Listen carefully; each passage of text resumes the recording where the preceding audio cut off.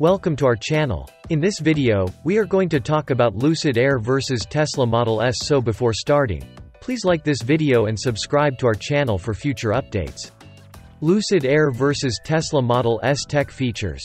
Lucid Air. We'll certainly learn a lot more about the Lucid Air's interior tech when it debuts on September 9th, but for now, let's work with what we have. The cabin of the Air has several screens. Touchscreens on both sides of the fully digital instrument cluster are two of them, which are not touchscreen. At the start of the central console, there's also an iPad-like touchscreen. It may be retracted to reveal a little storage compartment behind it. There will most likely be several USB or USB-C connectors throughout the inside. Apart from its powerful voice recognition system and a personal assistant feature, little has been said about the infotainment system. A facial recognition system can determine who gets into the automobile as the driver and alter the vehicle settings accordingly. Tesla Model S Tesla's Model S is recognized for its big 17-inch touchscreen in the middle, which is the largest in its class. It has a 12.3-inch digital instrument cluster. Although the infotainment system includes Bluetooth connectivity, it lacks Apple CarPlay, Android Auto, and Amazon Alexa functionality. It does, however, include a navigation system with real-time traffic data and an internet browser.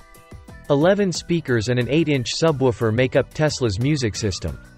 Three more speakers have been added to the improved system.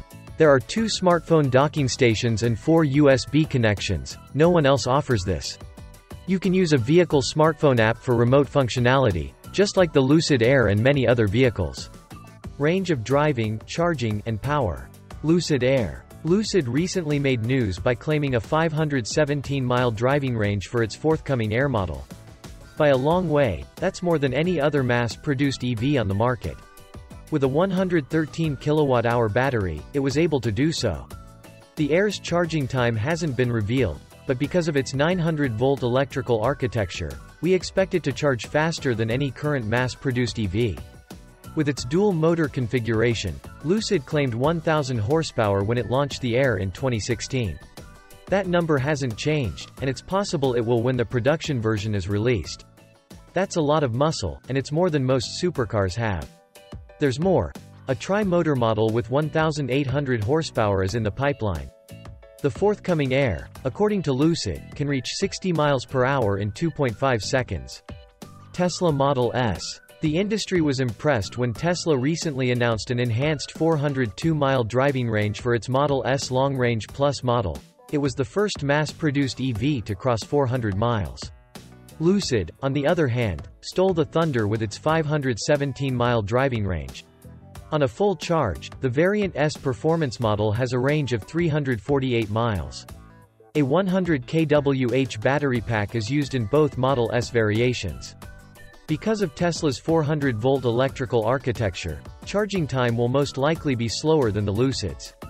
Expect a nearly empty battery to charge to 80% in around 30 minutes with an 11.5-kW onboard charger and a Tesla supercharger. A full charge from empty will take at least 6 hours with Tesla's Level 2 at-home wall connector charger. We can only conjecture on power because Tesla curiously does not provide horsepower or torque data. Several third-party estimations, on the other hand, place the performance model's overall output at slightly around 800 horsepower. The performance variant takes 2.3 seconds to accelerate from 0 to 60 miles per hour. Safety, driver assistance features, and semi-autonomous driving. Lucid Air. Because of its semi-autonomous Lucid Dream Drive system, we expect the Air to come with a large list of driver assist features. The Air, unlike the Model S, will contain a driver monitoring system as well as a lidar sensor, short for light detection and ranging. The Air will be equipped with 32 sensors in addition to the lidar sensor. Camera, radar, and ultrasonic sensors are among them. A surround view camera, blind spot monitoring, cross-traffic protection, traffic sign recognition, automated braking, adaptive cruise control, lane centering, headlamp help, traffic drive-off alarm, and a self-parking system are just a few of the driver support features available.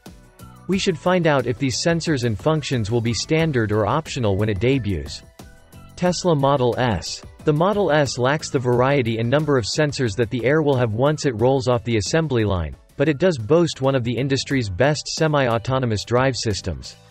Under certain conditions, autopilot, a standard function, is a driver assist technology that can steer, accelerate, and brake for the driver.